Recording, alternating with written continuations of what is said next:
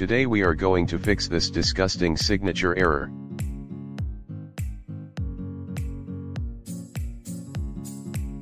Start by opening Device Manager.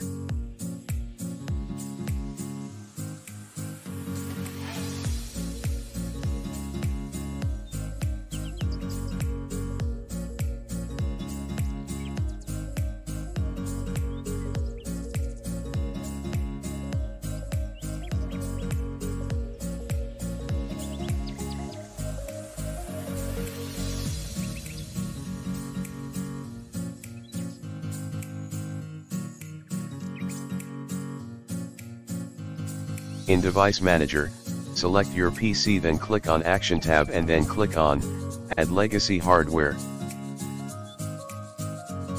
Click, Next, then select, Install the hardware that I manually select from a list.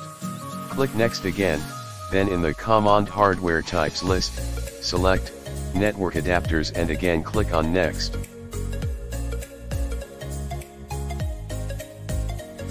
Wait until list of devices appears.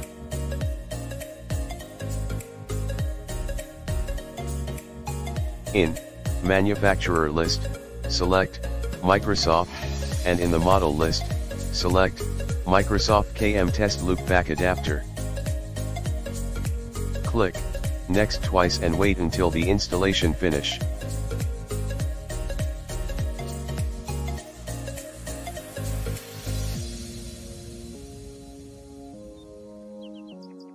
Once done, click on Finish. Now in Device Manager, expand Network Adapters and in Network Adapters, disable all unnecessary adapters for an instance. Choose wisely and disable the minimum as possible. You can enable them again later. Also here, unnecessary means the one which you don't use regularly or feel as abandoned.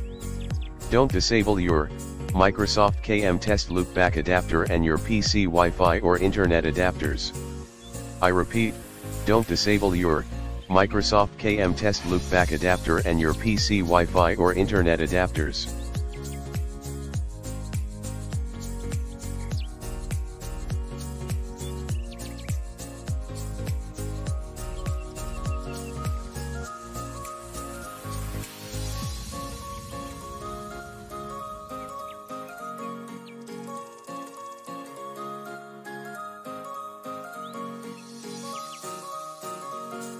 Now try to generate token again, wait for some time as it will do some CPU intensive stuffs to generate token. So, don't panic on a crash. Keep patience.